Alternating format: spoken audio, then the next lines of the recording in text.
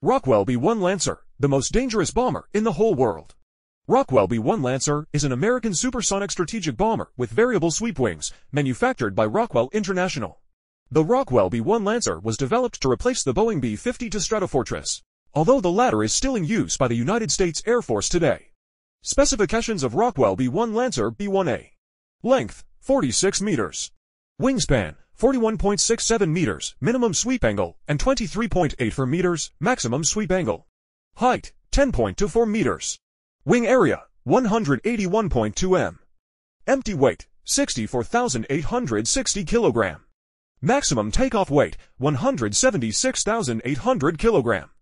Engine, for Times F101 GE100 turbofan engines. Maximum speed, 2,300 kilometers per hour.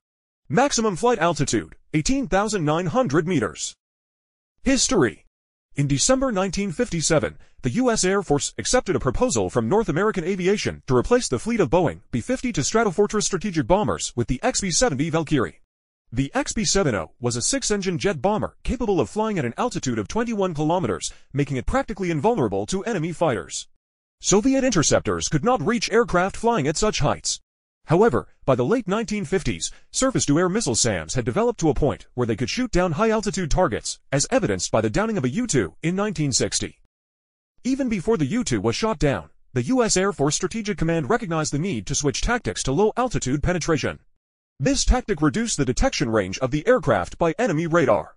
At that time, SAMs were not highly effective against low-flying targets, and low-flying targets were difficult to detect with interceptor radar due to the complexity of target acquisition.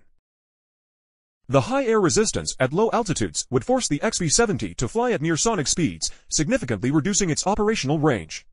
Ultimately, it was found that the Valkyrie would be forced to fly at speeds comparable to the B-52 it was supposed to replace, with a shorter range. The Valkyrie project was later cancelled by U.S. President John F. Kennedy in 1961, as it was unsuitable for the new role. And due to the growing importance of intercontinental ballistic missiles, the two built XB-70 prototypes were used for supersonic research. The B-52, which was never intended for low-altitude penetration, managed to outlast its intended successor and remained in service. However, Rockwell International began work on developing a new supersonic strategic bomber to eventually replace the Boeing B-52 Stratofortress. Rockwell International faced many delays during its development. Nevertheless, the initial version of the aircraft, named the B-1A, was developed in the early 1970s, but production was halted after the first four prototypes were built. However, in 1980, the B-1B was developed based on the B-1A as a low-altitude penetration aircraft.